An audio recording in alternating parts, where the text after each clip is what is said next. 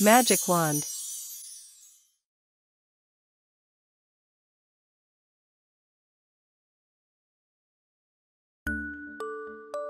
Letter Q.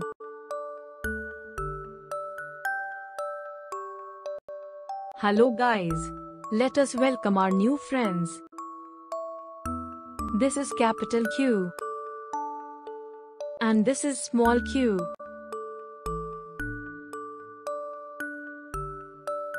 Now, let us learn some objects starting with letter Q. Q for Queen. Q for Quite. Q for Quail. Q for Quill. Q for Quick.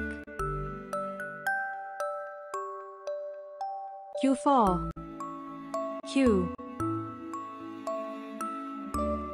Now, let us learn how to trace letter Q.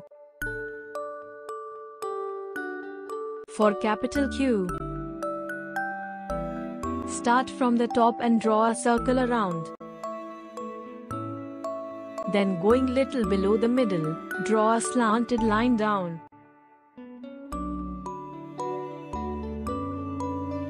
For small q, start from the middle and draw a curve.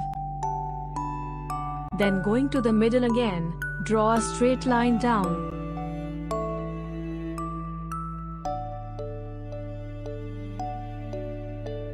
Let us revise. Q for Queen. Quite Quail.